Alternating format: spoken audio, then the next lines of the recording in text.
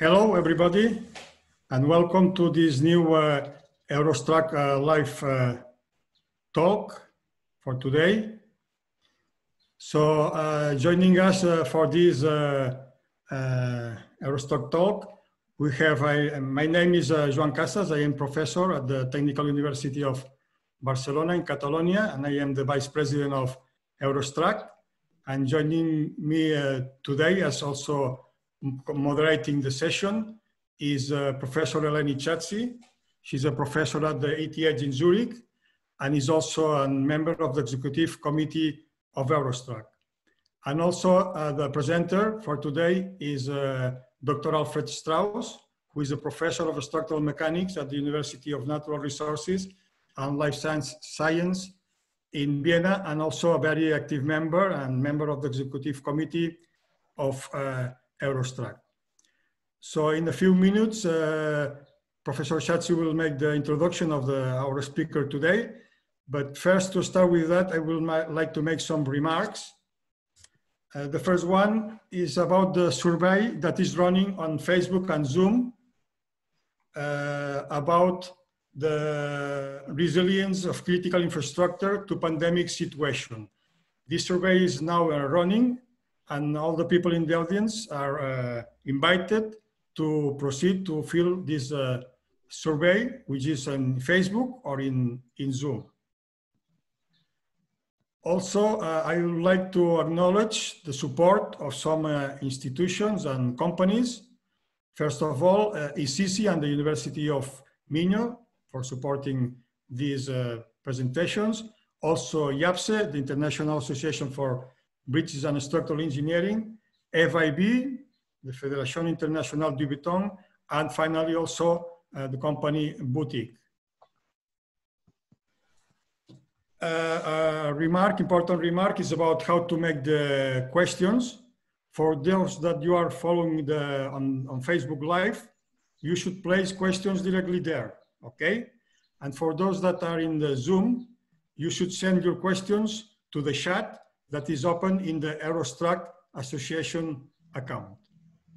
And the, fa the final remark is on the logistics. So I, I ask you please to switch off the microphones and the cameras during the whole talk in order to get uh, better connections and to follow better the presentations.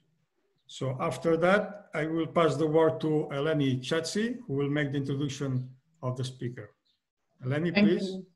Thank you, John. So it's actually a pleasure to uh, moderate today a talk by a member of the Eurostruct Association.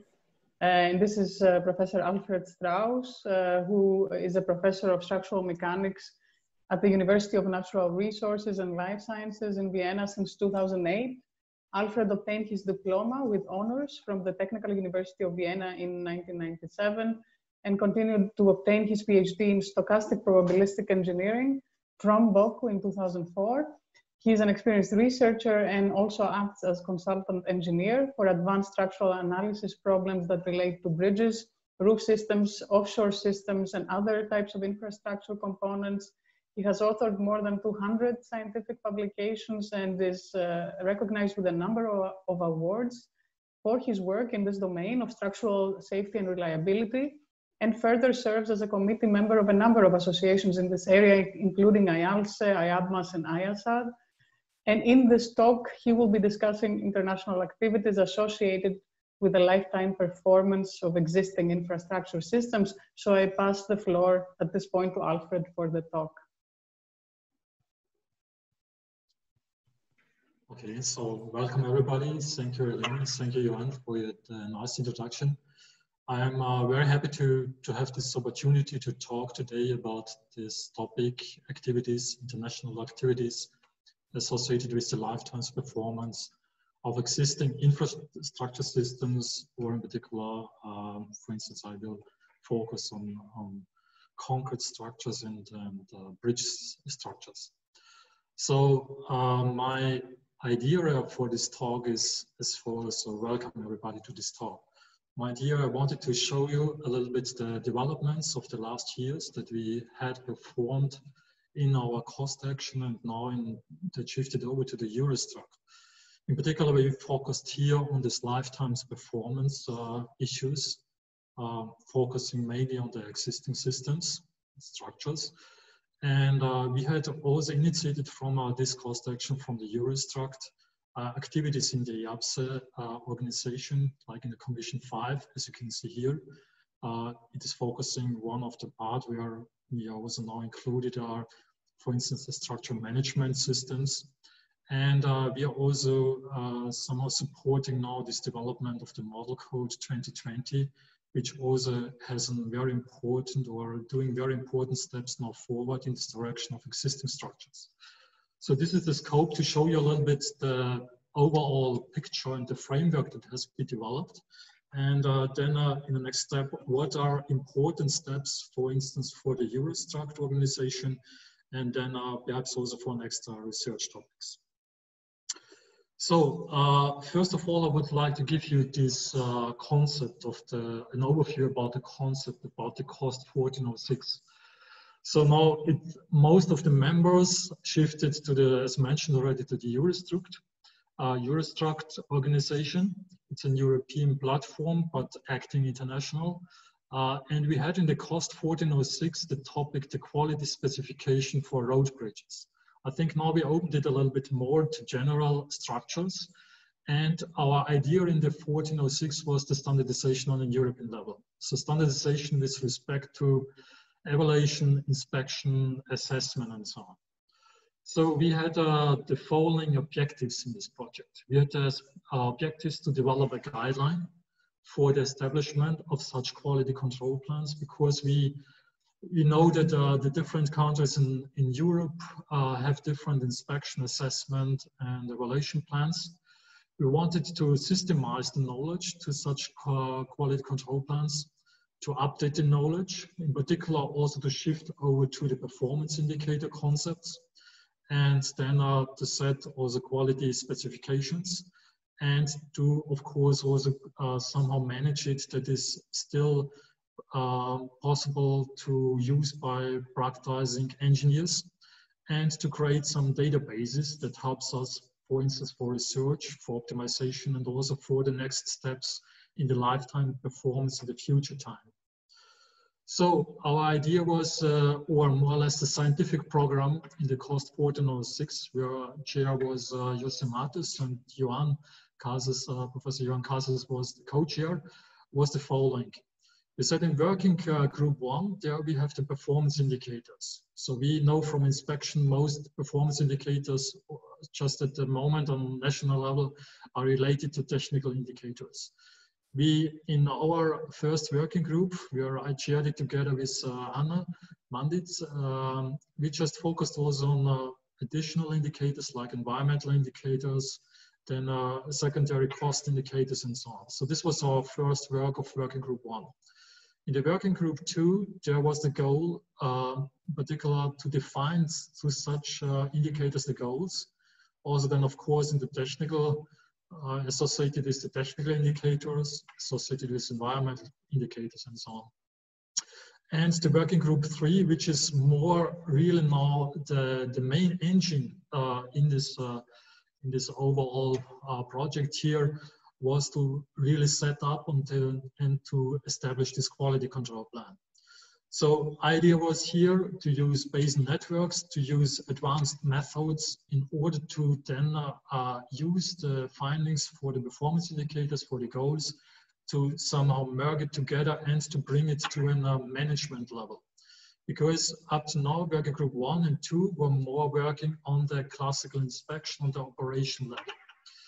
And finally, in working group four, uh, we developed or it was developed some case studies to show exactly how it runs and how we can uh, this uh, concept, this framework used in real in practice and to also compare it with the existing uh, system, how it, uh, which, which benefits or which advantages it.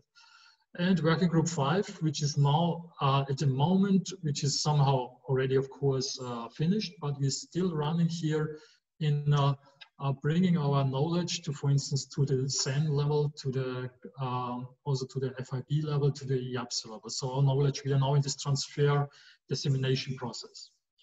So what we did in the uh, in this project, or in working group one, for instance, we just contacted most of the European countries. So you can see here all the countries that we contacted. We get uh, really to most of them really good uh, uh, access to the stakeholders and to some representatives, uh, uh, people who are dealing with this topic of inspection asset management. We ask them to go through their national documents for inspection, evaluation, assessment, and assessment documents, and ask them to, for us to screen their, um, with respect to performance indicators, to indicators, and to the very significant information that is needed for such a, an uh, European uh, quality control plan. What we found out at this level was uh, it was not that easy we had to define at this level different uh, levels. For instance, what is exactly a performance indicator? You can see here some uh, definition. What is an indicator? What is an observation? What are, for instance, damages, damage processes? So this was already a very, very intensive process, but more or less we could uh, manage it quite good. And also, what are the performance goals? So these were really big discussions. So it allows us, after this process, you can see here, we find about 375 terms from the European uh, documents, also some from, we had also relations to US and uh, China, also from this we had some input. But more or less from the European countries, we find out there are 375 terms that are used in inspection and that we are just indicated as this status performance indicators. So we, based on our definitions, we were lucky to can now a little bit structure it. We structured it in indicators that are really necessary to assess the bearing capacity, to assess uh, the current load capacity of the structure, performance indicators second order, observations which do not have, for instance, an uh, immediate effect, and damage process and other data. We had we could also assign these uh, different categories to the levels of material to the component level to the system level. So you can see we could reduce now our indicators which are must or are essential for the quality control plans uh, to at least a, uh, small number less than 30 performance indicators this information was just stored and uh, was categorized in a database that is now in this COST 1406 database uh, you can find in this database.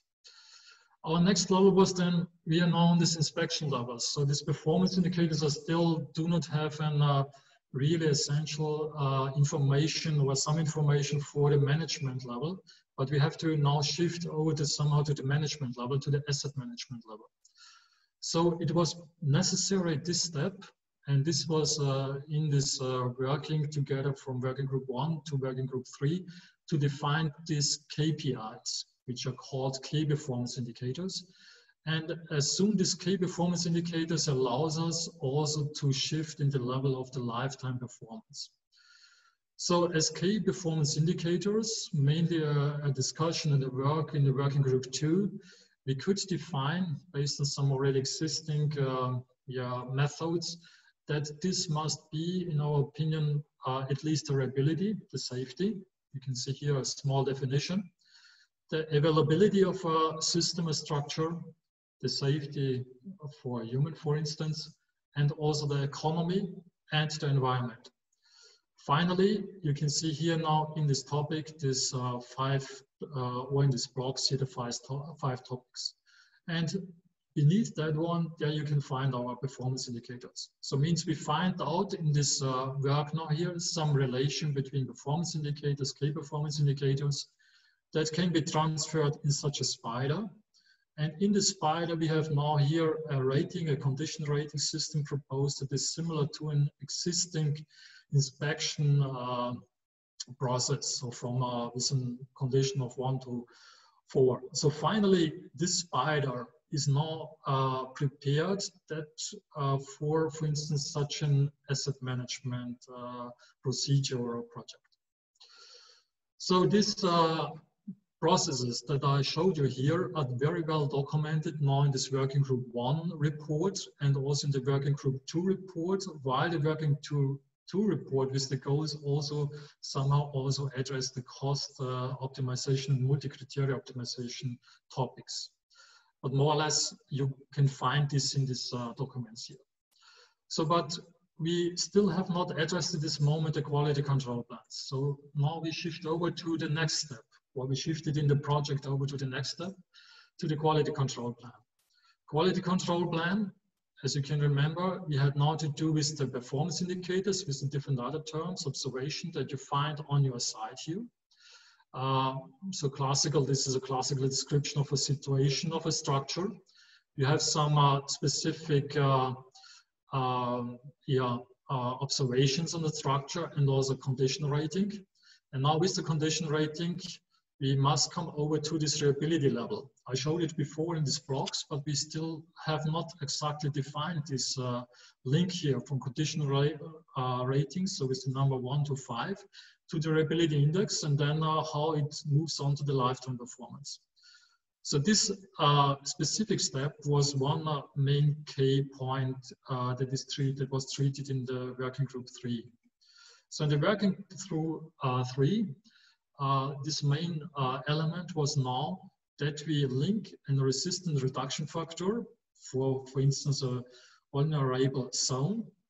And this uh, resistance reduction factor, you can uh, somehow estimate or somehow make an assessment with respect to an inspect classical inspection. That means, for instance, when you have uh, 0.65, for instance, in a bending situation, that means you uh, perhaps uh, are here uh, with respect to the red line or blue line in an already and condition rating from the classical condition rating of inspection in four.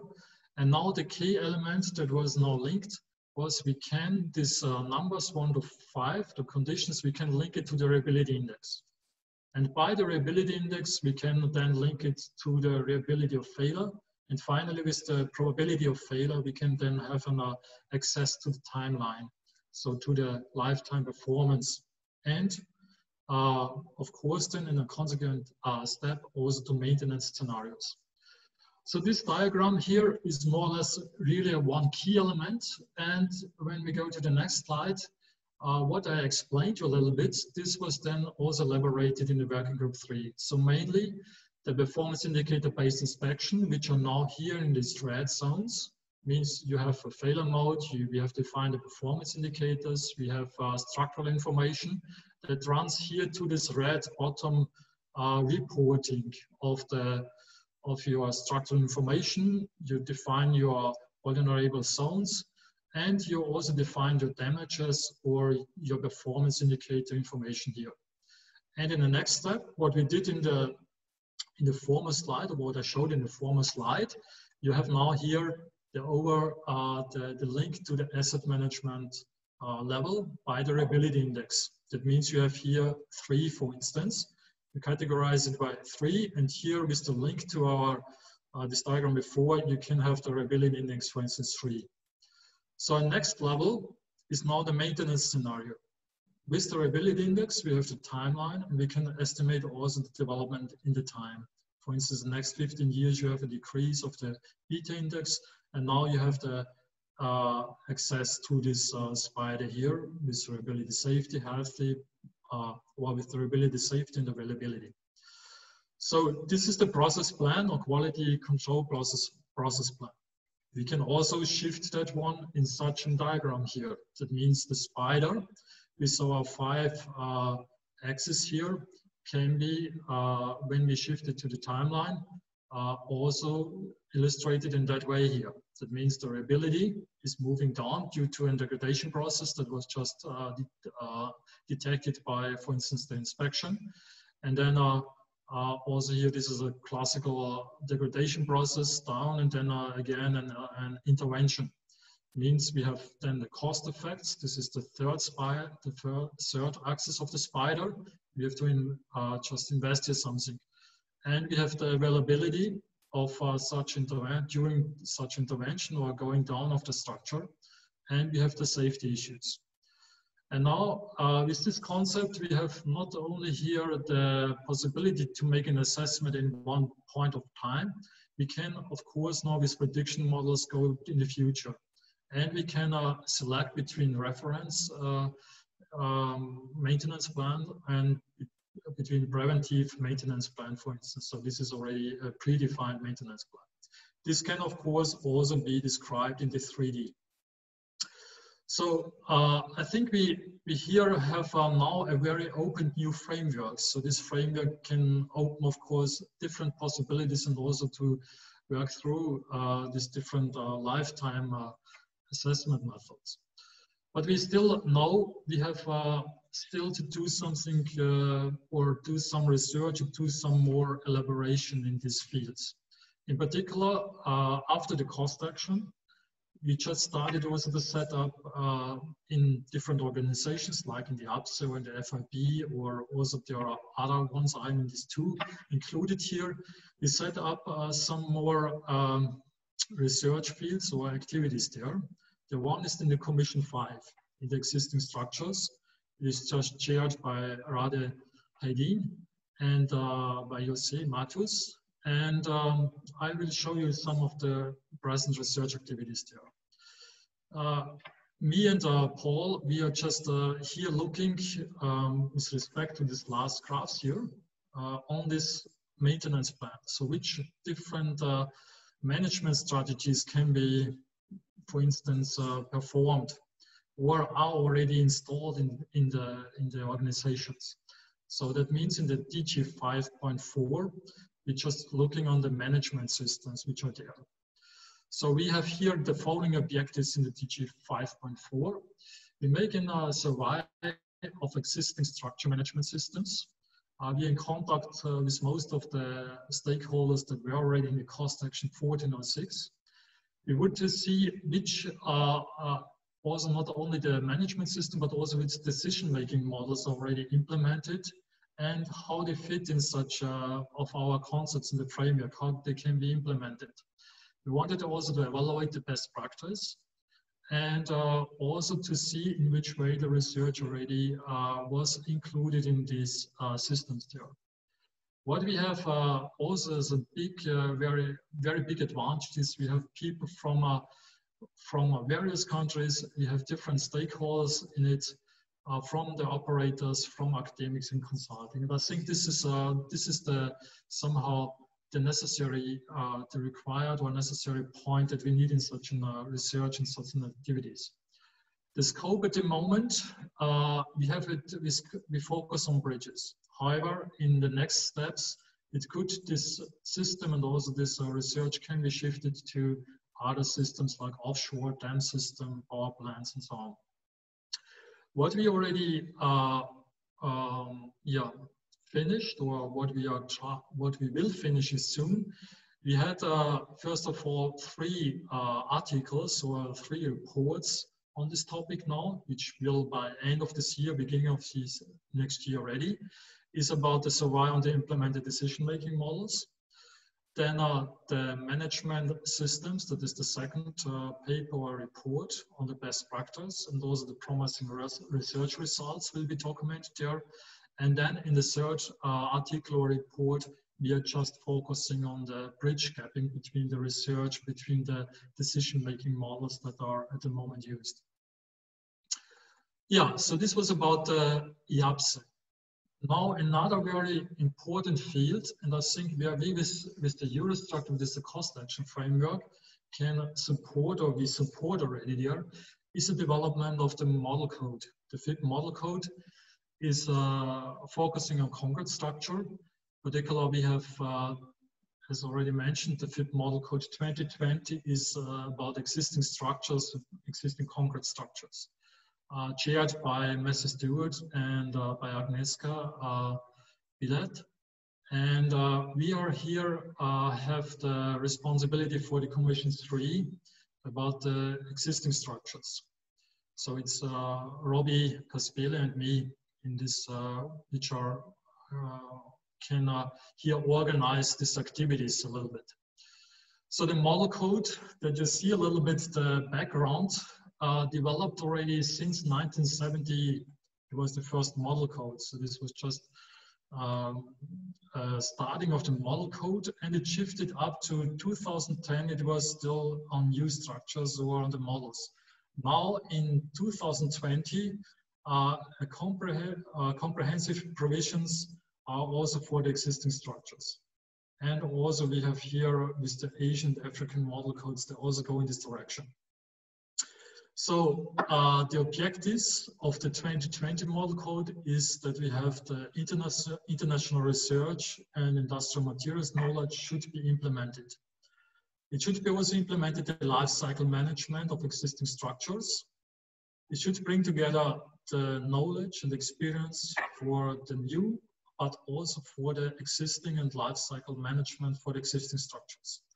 So you can see here, it's really absolutely up to time. And uh, you can see here was the requirement uh, yeah, of going in this direction.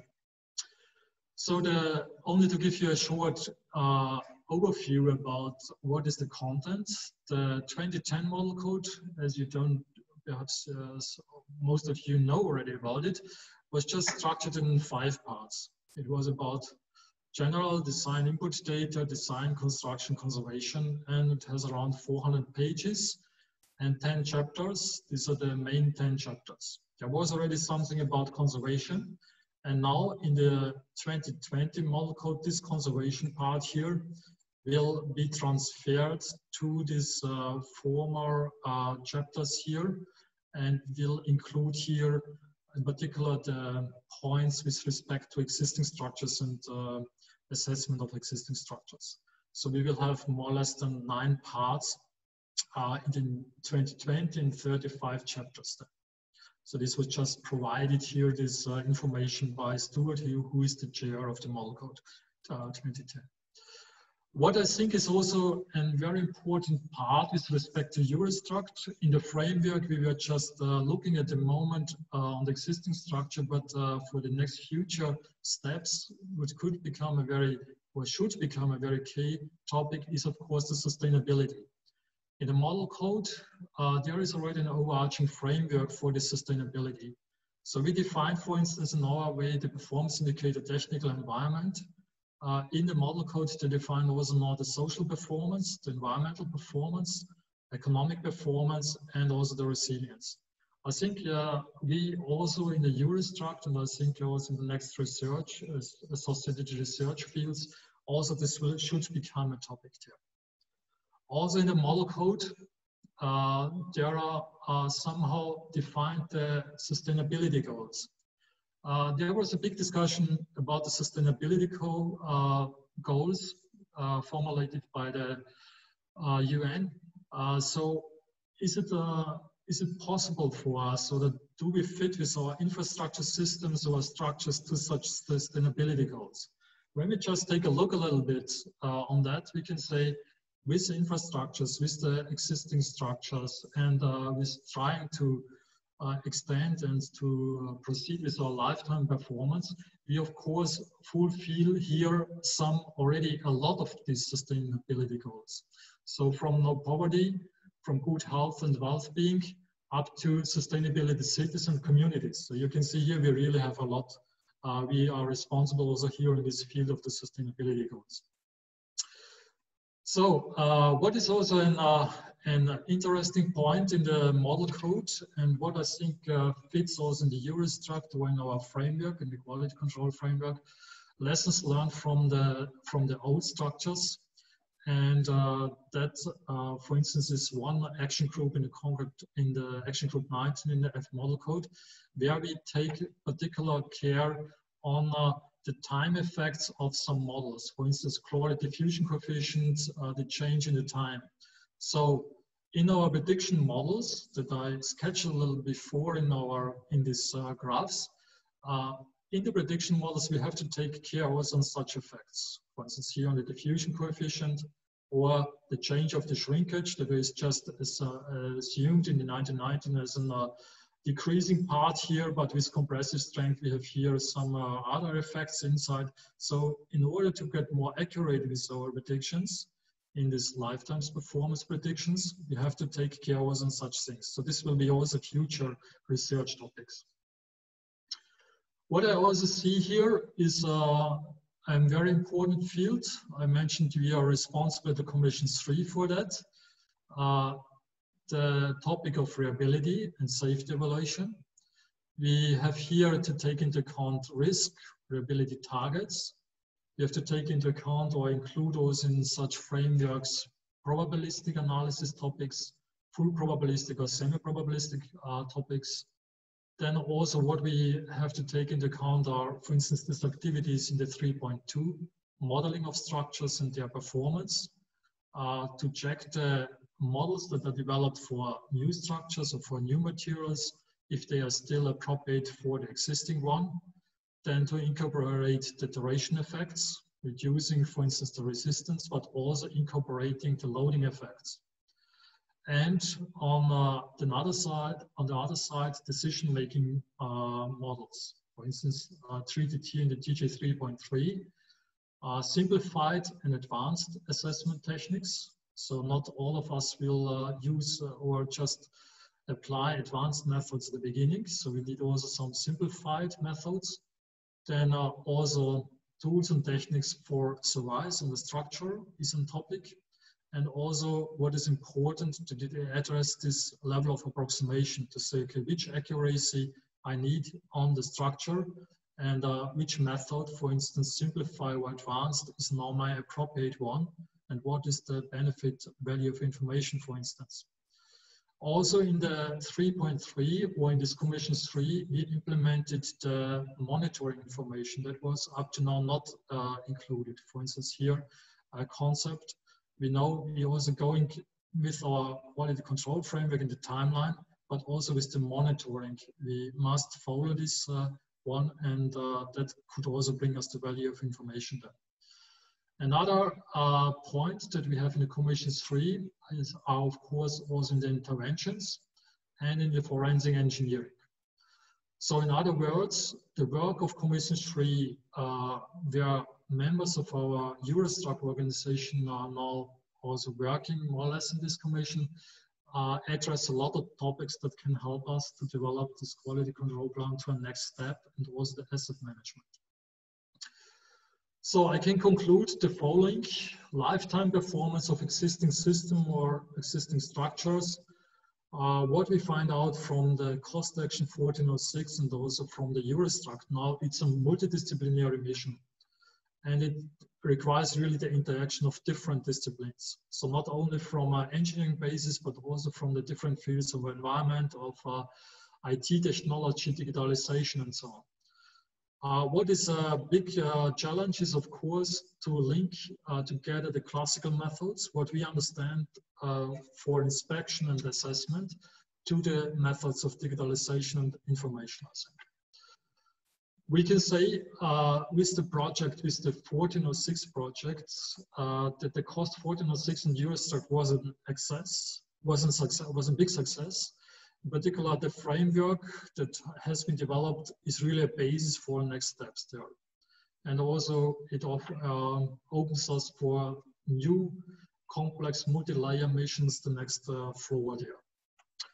So that is a little bit the, an uh, introduction small appetizer for the discussion now. And I wanted to acknowledge also the COST 1406, the Eurostruct, the IABSE and FRP who supported here and where we can uh, work with them together. Thank you very much. Okay, thank you, Alfred, for this uh, very comprehensive uh, summary of the different activities related to the quality control and maintenance from the point of view of different associations and and organizations. So now is the time for questions. But before to uh, start with the questions from the audience, in order to give time to the people that have followed your presentation to, to propose the, the questions, I will start with one question from my side. Uh, it's uh, of course it's a it's a general question and it's mainly related to this uh, to this uh, to uh, looking at the at the coordination of these activities. No, uh, you have shown that uh, you are involved in, uh, in Eurostruct, you are involved in IABSE, you are involved in FIB. myself, probably we are in the same, in the same uh, uh, committees and so on. Probably also uh, Professor Chatzi is also involved in some of them. And probably also people from the audience, they belong also to different of these associations and committees. And uh, my, my question is a little bit about the coordination of all these activities because it seems to me that it's always the same people working in similar things, but in different parts, in different associations. So I would like to know from you, what is your opinion, your feeling about the, I mean, if you, if you are happy with the coordination between these different bodies involved in the same, in the same subjects and normally with the same people involved. Mm -hmm. Yes, so the one I know, uh, some of this organization focus, of course, in the different directions. So for instance, FIB, the concrete structure, IABSE in general, engineering structures. So uh, I think there is already an interaction. I think it's good that the people are working uh, in the different organizations and also can exchange knowledge. Uh, I think it's somehow required um, or it's a necessary, how to say, sometimes you can uh, you can make an argument that um, uh, it would be better that everybody works together in in a big organization there. But I think then it's very difficult to organize it to finally also to find some uh, some results and because already in this small organization like in the commission 3 or the task group 3.1 to 3.5 it's very difficult to, to coordinate between the groups and also to keep still the interaction there. So in case it is much more broader, I think then uh, it's really could become a mess. So at least we can define in each of the small groups a little bit the results. And from time to time uh, that the IABSE or FIB have together a conference, for instance, or an, an exchange, I think that uh, would, in my opinion, would be uh, preferable. Okay, thank you. So, Maybe, mm -hmm. yeah, Eleni, if you want to make a question. Maybe just transfer, since we already have a first question from the audience, just to transfer this for to Alfred. Uh, this comes from uh, Blaise Girardin from the SBB Infrastructure Department. And the question is, uh, why is there not a quantitative risk-based approach with selected parameters? And what is the viewpoint of Alfred, Alfred on that topic? uh, on risk-based maintenance planning? Uh, is the risk approach expressed as PF times the summation of CI not a fair performance indicator? This is the question. I think that the risk-based approach, uh, of course, we have now uh, in this graph that I showed, this uh, is based on the one side on prediction models. Uh, of course, it can also a risk-based approach. Uh, it is somehow related to the vulnerable zones to detect which are the, the critical zones and then uh, of course I can uh, include the, the, timeline and I can also make an assessment about the uh, yeah the safety issues and then the, the, the damages that are caused. We can, uh, in this framework, I, I, have the opinion it still can be implemented, the risk uh, basis uh, approach, or is already somehow implemented and it is not an, uh, it is not different to a risk-based approach, in my opinion. Thank you. I think this is clear. And maybe um, uh, just to add a, a small uh, question on my side, because you're still on this slide, so I think this is nice. What you refer here to digitalization as the end of the path. So I would like to ask you, what are, what are the digitalization aspects that are included in this concept or the steps that you see for reaching that uh, goal mm -hmm. more concretely? I think in my, in my opinion, the digitalization can be here in different, uh, different variations. So it can be on one on database. It can be somehow also an inspection, automized inspection by, for instance, drone systems, or it could be also somehow, yeah, some value that you get from a, or, or directly like a BIM system, like a building information system that you can store in particular essential in information from your performance indicators in the database. And then finally, this helps you later on uh, to assess the next steps or to, to assess the degradation process or the damage process. So this I understand under digitalization. I understand also that we exactly get uh, information from the structure about the geometry, about the materials, about, for instance, also the durability, input data, and uh, also environmental data. So these data somehow at the moment are not that easy that you can obtain from uh, from some uh, drawings or some drawings missing and so on. I think with the digitalization, so on the one thing that you have uh, data about the geometry, about the condition that at the new uh, the new stage, and that you can uh, just collect over the lifetime. I think this I understand the digitalization. But I, I, would assume, given also my own interest, you know, in monitoring, that you would include this in this picture, the possibility to have Correct. sensor information or either periodic yes. or continuous, whatever the form would add to this uh, data set, I guess. Monitoring, of course, is an, uh, also a big field, and also the, the traffic loads, traffic flow, for instance, all these parts. I think the big challenge is to somehow organize this information and to make it really accessible for all. But yeah, you're right. Yeah.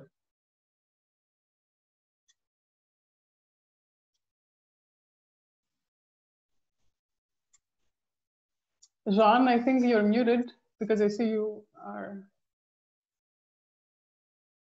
trying to ask a yeah. question, perhaps. Yeah, yes, I have. Sorry, I have uh, one question is related to the. What do you think is the is the main advantage of the of the framework proposed by the cost action compared to the normal inspection or quality control tools already available in the different countries in Europe? So I think, yes, I think the main framework is uh, that we have somehow homogenized system over Europe. So with the performance indicators, it makes it possible to compare it. Also, it makes possible that they can uh, over Europe an education program and a training program. There exactly, we have exact rules how to make an assessment, evaluation, and then an asset management uh, system. So I think uh, that helps us and we can learn from one country to the next country and also the development of an uh, unique standard, for instance, for, for Europe. I think this is, in my opinion, one of the big advantage.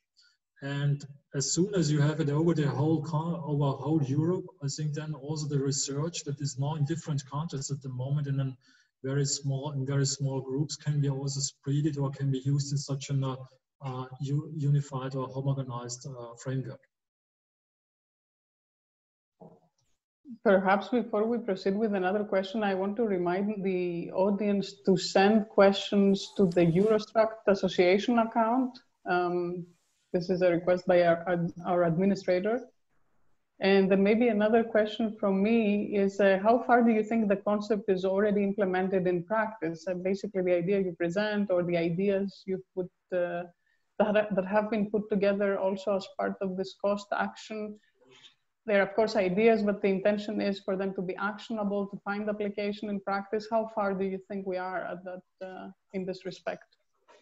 So uh, from two or three countries, I know that uh, at the moment um, there is an uh, there are the first steps of implementing this uh, system. So I, I know the for instance, in Austria, they, they are also now elaborating a little bit the system and, and trying to uh, to use it. Uh, in particular, in some project where we are, they they just uh, get more and more interest in this uh, system. I've also heard from some uh, some countries which are now uh, just building up their inspection, their new inspection programs and asset management programs that they use already our documents or for instance the working group three and working group four documents that they are using it as a basis at the moment. So I think we are on the now on the first steps there. And uh, the idea to link the inspection with reliability concepts and with performance and quality control plans will come now in the next five, ten years, I think, uh, will, will speed, speed up.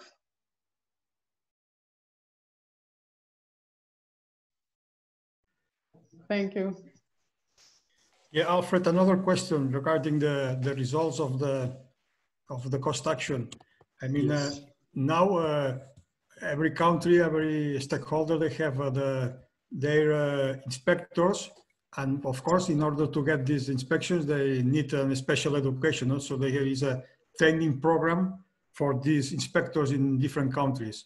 Uh, do you think that the approach proposed by the cost action and the results of this action you need uh, some, there are some special education needs for the inspectors, apart from the things that they already uh, have in the normal, in the normal operation. I mean, is, is there any need for uh, uh new education skills for the, for the inspectors? I, I think, uh, yeah, um, in particular, what we learned was in the group one, group two, and group three, I think this information will be very helpful for the inspectors. So from that point, uh, the inspectors should have this information, how we define the indicators, performance indicators, what is necessary for the assessment. On the other side, I know also that uh, in most of the countries, they already established very good inspection programs. And uh, uh, I think it should be also an, uh, uh, a way back to us to see, okay, how our concept must be perhaps also adjusted a little bit in order to take care what is already existing on the local level. Some of the countries have already very uh, very strict rules to see okay how we fit in these rules. Some of the countries are very open or just have very few documents. Some of the countries have about uh, 600 800 pages of inspection documents. So I think it's still, it will be still a process. And I think uh, from such training schools, we can, uh, of course, with uh, the concept durability performance indicators, we can teach them. We can also see how they can focus, perhaps they can reflect their concepts. And of course, also for us, it will be important to have this interaction then and to see the training schools what is what are their requirements exactly in their country.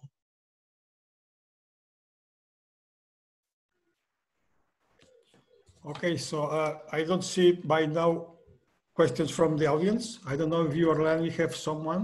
I do. So there is one more uh, question, uh, which is, allow me to read it because it's a lengthy one. So is it, it is true that all um, uh, associations are now focusing uh, on existing infrastructure Although this is a key issue for more mature or more developed countries, the same does not apply for under, undeveloped or underdeveloped countries uh, where the construction of new infrastructure is still a need.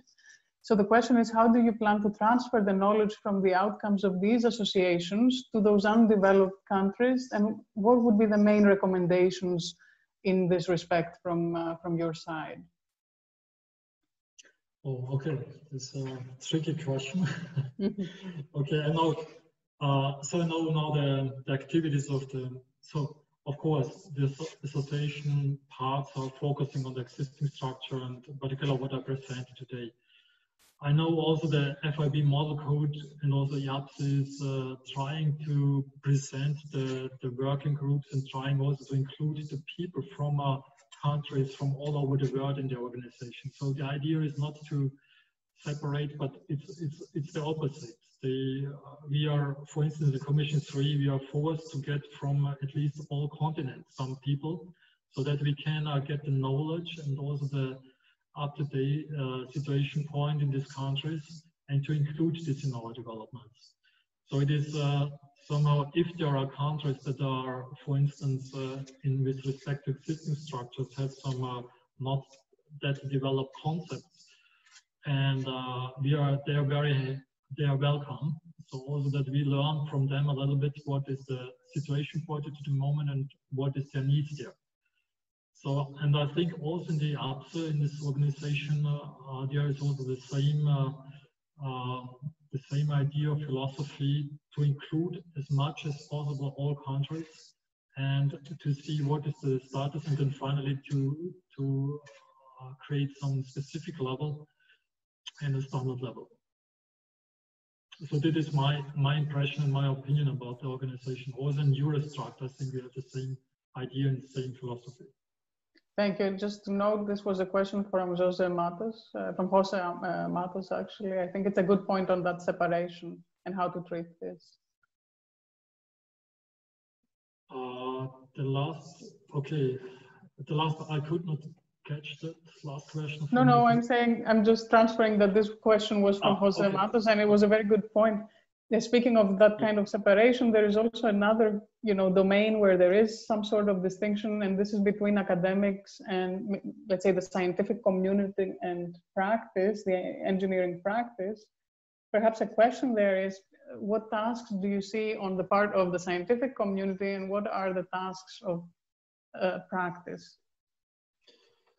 Um, yeah, so I think the there are a lot of scientific uh, communities working on uh, very high sophisticated models and uh, from uh, I think the models are just very good. And um, I think what what is a necessary step there is what we try in the IABSE in the 5.4 to close the gap a little bit to say okay what is the engineering what is the engineering uh, situation at the moment and to see what are the interfaces that must be uh, fulfilled in order to bring these models into practice. And I think on the other side, from the practical engineers uh, or from practice side, I see also the, I think there is already a very good interaction to the research, to the university, to you know, research institutions. But I think such a for instance, conferences or even, even small projects to understand the different parties from research and practice, I think is very important. So, uh, and I think we are in a good uh, time at the moment. Uh, we are this process starts already. So this uh, from uh, IABSE from FIB, I see this in the in the members that uh, there is a willingness from the practical side and also from the research side to interact.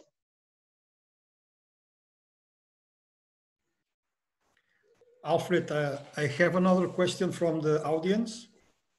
The question is that uh, what recommendations do you have for infrastructure managers to implement the proposed concepts? Uh, I would say the first step is to follow these uh, training uh, programs that uh, the Eurostruct or COST already set it up to understand the concepts and then I think uh, there should be a small group of uh, the people who were active in the cost action to work with this uh, infrastructure uh, stakeholders together and to see what is what they have already developed and in which way it can be implemented. So that is my would be my, my first suggestion. So I think it, it must be a step-by-step -step process. Uh, you cannot give it over the, the, framework and say, okay, please implement it. I think it should be somehow a smooth process over a specific time of a period of time.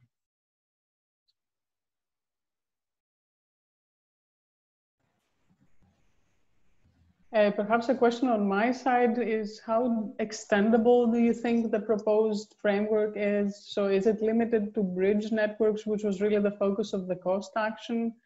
Do you find application in broader systems, also given your uh, experience across different types of structural uh, systems?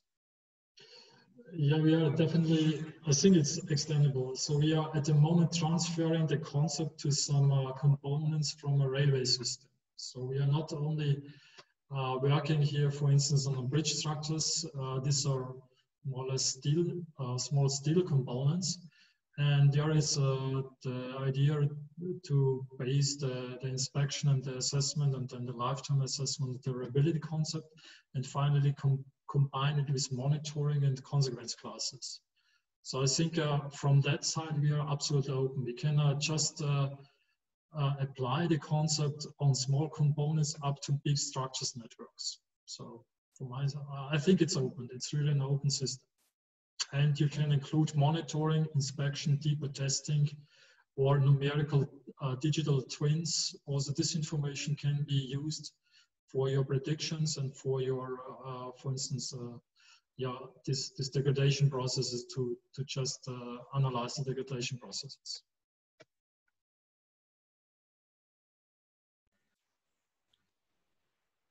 By now, I don't have any new question from the audience. I don't know, Eleni, if you have some? No, uh, I don't see any uh, additional question. Okay. So if, if there are no more questions from the audience, but it seems it's the case, I propose you, Eleni, to go and close the session. Uh, yes, maybe a closing statement for, from Alfred on something I meant to ask, uh, just to, to get his opinion is, you discussed a bit on uh, assimilation of data, of uh, monitoring uh, uh, digital twins, building information models. What do you think is the role of machine learning in this respect? And do you believe that this kind of aptitude, this kind of skill should now be a skill that uh, civil engineers actually have as part of their educational program? Um, I think, yeah. um, we, yes, we, we also uh, somehow try to create here some groups, uh, also together with some uh, industrial partners. It, I think it is a very important, it is an important skill. It depends if it is, should be already in the education program, pro, program of civil engineers.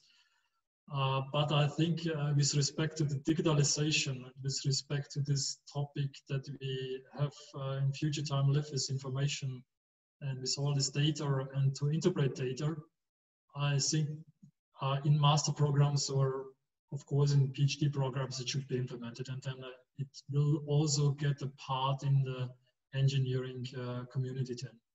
I agree. Um, so I want to thank you for this statement. I will follow the invitation of Joanne and close the talk by thanking everyone uh, who has uh, attended and informing once again that there is a running Eurostruct survey. Uh, it will be on Facebook. It's already activated. We wish to ask you to complete the survey uh, if possible um, and help us gather information.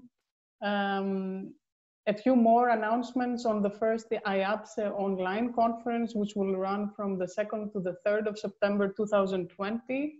Uh, an announcement that the call for abstracts is now open for the IABSE 2021 symposium in Ghent uh, in the next year. Uh, there is a FIB symposium which was rescheduled from 22nd to 24th of November 2021 uh, and will be online. And finally, since this was also mentioned during the talk, there will be a Eurostruct training course. I think we discussed how important training uh, follow-up activities are, and this will be online again uh, due to the present situation from the 2nd to the 4th of September 2020. You can register for this. The registration is already open and it will be open until the end of July, so you have a few more weeks. And the, Euros, the first Eurostruct 2021 conference uh, is also um, official. It will be held in Padua, Italy, from the 29th to the 31st of August 2021. Uh, so you, you can expect uh, uh, an announcement for the call for abstracts very soon. And just to close with the announcement of the next two uh, upcoming talks on July 24th at 2 p.m. Uh, Central European Time again by Ralf Holst from BAST on improvement of bridge inspection in Germany. And then on the 27th of July, shortly after that, one hour earlier with Colin Caprani from Melbourne University on probabilistic modeling of traffic loading for higher tier assessment of bridges. The two talks are quite closely spaced, so the registration uh, for these will be sent jointly. Please keep your eyes open and uh, do join us for these next events. Joanne, I give you the floor uh, for the last word. No, just uh, to thank uh, Alfred again, and also you, Eleni, for moderating this session. Thank you for this, and of course, thank you for the to the audience. And uh, we'll see each other in the next uh, Eurostruct uh, live talk uh, next week. Thank you. Thanks, everyone. Thank you Bye. Bye. Bye. Thank you.